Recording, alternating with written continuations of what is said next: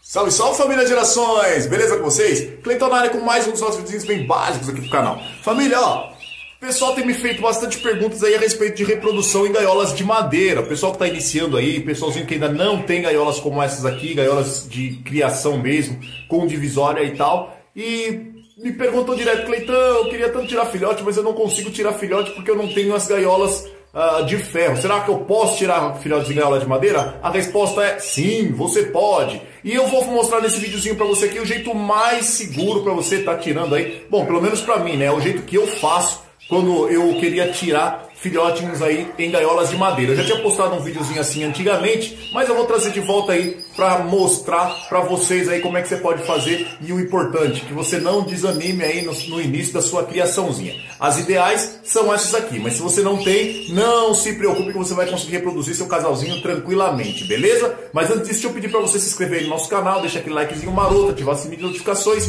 e tudo mais. Agora, sem mais enrolação, deixa eu passar aí para mostrar para vocês como é o jeito mais garantido e fácil aí para você tirar filhotinhos em gaiola de madeira, beleza? Bora lá! Pois bem, pessoal, tá aqui a gaiola. Essa gaiola aqui, tá? Ela é a número 4, se não me engano.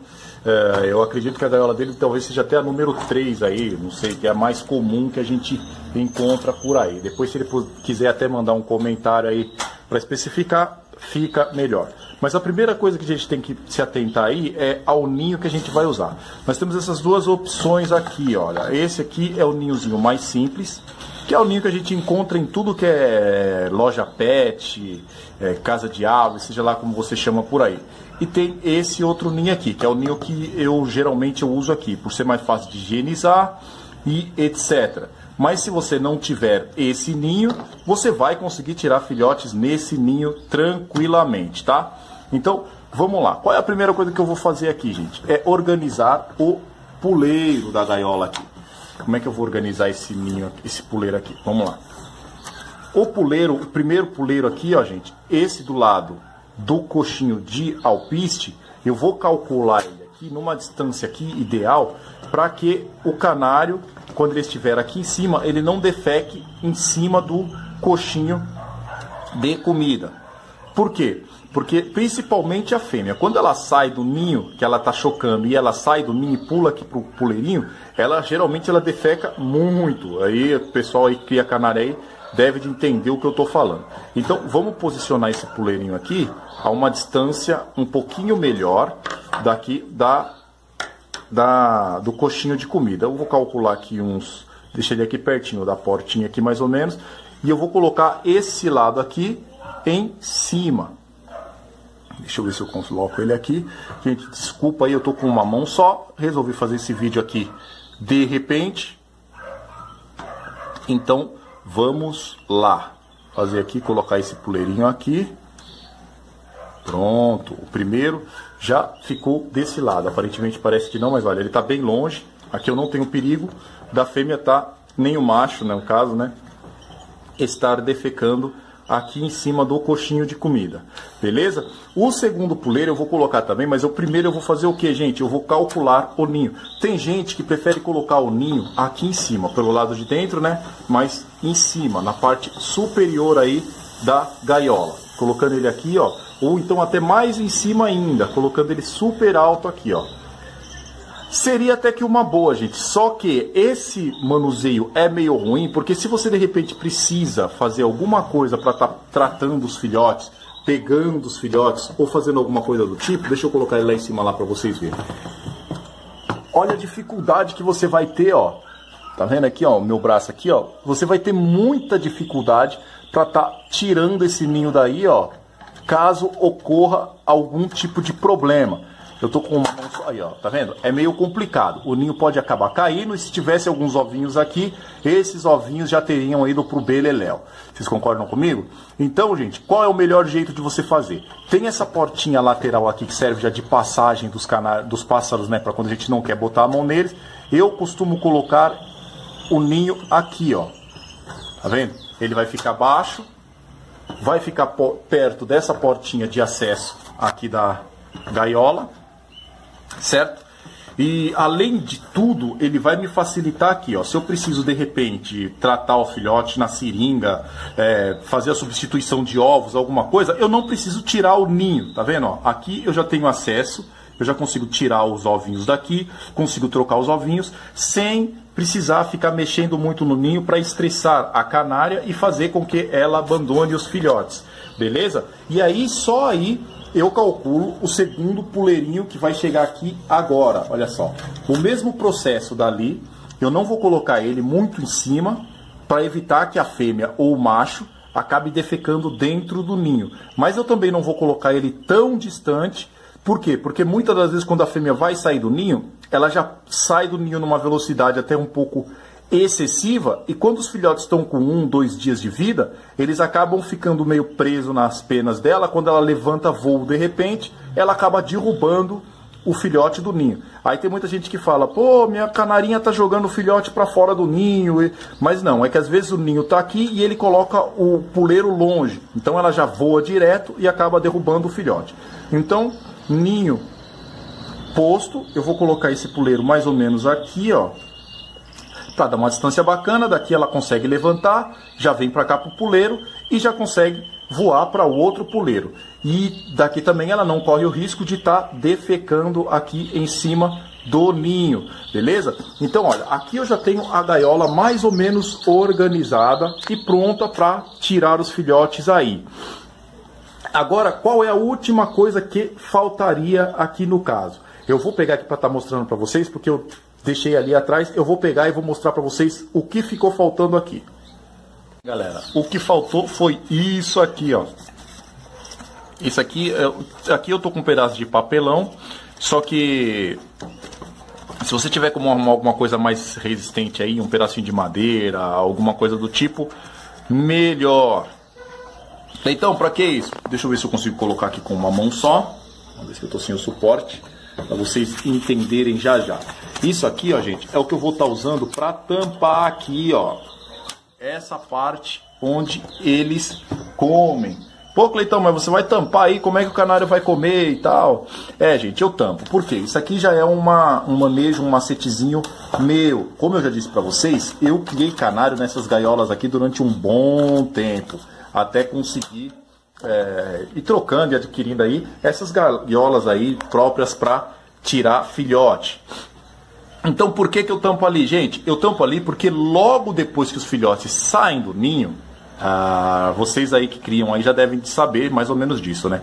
Eles vão sair do ninho, vão pular para fora do ninho. Se você estiver criando o casal junto, macho e fêmea junto, antes mesmo deles começarem a comer, a fêmea vai entrar em postura novamente. E aí o que, que vai acontecer? Os filhotes que saírem do ninho aqui, eles vão parar um pouquinho no puleiro, mas a maior parte do tempo, eles que não são nada bobos, eles vão ficar justamente no local onde ele vê que o pai ali se alimenta, o pai ou a mãe se alimenta, que por si só vai ser aqui em cima do coxinho de ração. Então ele vai ficar parado ali o tempo todo esperando o pai vir comer para poder estar tá alimentando eles. E nisso, gente, o que que acontece? Ele vai defecar por aqui em cima de tudo e vai virar uma nojeira só. Além de que ele vai estar tá defecando em cima do alpiste, você vai ter que estar tá trocando esse alpiste praticamente duas, três vezes por dia, causando um enorme desperdício. Então o que, que acontece? Eu coloco é, esse tampãozinho aqui no lugar do coxinho de sementes e coloco aqui no meio algum outro tipo de potinho. Eu tenho esse aqui, que eu vou estar tá mostrando para vocês, mas eu acho que não é em qualquer lugar aí, todo lugar que você acha. Ele está até sujinho aqui, porque faz muito tempo que eu não uso. Vocês estão vendo aqui, ó? É esse tipo aqui, ó. Ele parece um bebedourozinho, mas ele não é. Eu faço o que com ele? A gente coloca ele na gaiola aqui, ele tem esse suporte. Você prende ele aqui na gaiola. Deixa eu colocar ele mais para cima, por causa que ele está bem na porta. Você vai prender ele aqui na gaiola, perto do, do puleiro, é lógico. E aí, ó, ele engata aqui, ó. ó. Opa, ficou muito alto. Deixa eu colocar ele aqui nessa partezinha de baixo. Aqui, ó. Ele engatou ali. Você vai encaixar aqui o comedouro. Nossa, tá difícil com uma mão só. Você vai colocar ele aqui, ó. Vai apertar e ele vai segurar. E aí ele vai ficar aqui, ó, como se fosse um bebedourozinho de água. Vocês estão vendo? E as sementes ficam ali, ó. E aí o canário ele vai conseguir pegar ali. Ali não tem o perigo dele estar tá defecando dentro das sementes e você vai ter menos trabalho. Porque, como eu já disse, gente, essa gaiola aqui você tem que ter um macetezinho aí uns mais ligeiro para evitar aí que tanto os filhotes quanto os pais acabem ficando doentes. E aí, para os filhotes começarem a aprender a comer, você pode arrumar uma, algum comedourozinho pequeno, alguma algum potinho recipiente, eu vou pegar um aqui para vocês verem. Então, tá aqui, ó, gente, ó, tá vendo? Ó, tem esse, esse recipientezinho aqui, ó, vai servir certinho. Isso aqui é mais para quando o filhote começar a querer aí tá curiando aí, beliscando aí a farinhada, o alpiste e etc. Então você coloca aqui, ó, você pode colocar aqui numa distância assim entre um puleiro e o outro para que eles não acabem defecando aí dentro também. E pode estar tá servindo aí farinhada, uma quantidade pequena, bem menor aí, né? Porque o que, que acontece? Aí você pode estar tá trocando ela até no fim do dia, duas vezes por dia, você troca essa farinhada. E aqui esse tipo de pote é fácil de você lavar. Você vai estar tá lavando ele todo dia para estar tá evitando problemas. É melhor do que ele defecar aqui nesse coxinho de ração, que geralmente são de madeira. Olha o exemplo desse aqui mesmo, ó, que também está bem velhinho já. Essa gaiola que eu não nem uso, é só para estar tá mostrando para vocês mesmo é melhor do que ele estar tá defecando aqui nesse coxinho de madeira. Por quê? Porque se você precisar lavar esse coxinho de madeira, você vai ter mais problema. Porque até você lavar, até ele secar e etc., ele vai estar tá aí, pode estar tá dando alguns fungos, algumas bactérias, que por sua vez vão estar tá contaminando as sementes que os canários vão estar comendo, beleza? Então, se você não tem esse comedouro de colocar preso ali na gaiola, você pode até arrumar uns outros diferentes, tipo esse aqui mesmo, esse aqui é mais simplesinho, você coloca a tampa ele aqui direitinho, e esse sim você pode estar tá colocando ele ali próximo ao coxinho aqui, ó, tá vendo? Que é tudo mais fácil de lavar Vou colocar ele sem tampa aqui mesmo, que é só para estar tá mostrando para vocês. Aqui, ó, esse ele vai ficar penduradinho ali, ó. Tá vendo? E aí você não vai ter o problema quando o canário tá, se ele por acaso defecar aqui por cima. Por isso eu disse que é mais impor é importante assim, se vocês conseguirem arrumar uma madeirinha, alguma coisa que seja mais fácil de lavar. Porque se você coloca o papelão aqui, você vai ter que, toda vez que você estiver limpando a gaiola, for limpar a gaiola, você vai ter que cortar um novo e colocar para também não deixar acumular sujeira aqui em cima. Beleza, gente? Então, ó, a gaiola ficou pronta. Se eu fosse é, alguns anos atrás, lógico, há bastante tempo atrás, e eu fosse tirar filhote, essa seria a gaiola do jeito que eu montaria. Mas também eu quero deixar aqui bem claro, gente, e é importante que você consiga aí é, tá adquirindo aí uma gaiola específica e própria para você estar tá tirando aí os seus filhotes, beleza? Essa aqui é bem dizer um jeito que a gente pode estar tá tirando aí no começo, bem no começo de tudo mesmo, mas aí, meu amigo Luca, você vai conseguir tirar aí bastante filhotes, eu tenho certeza disso.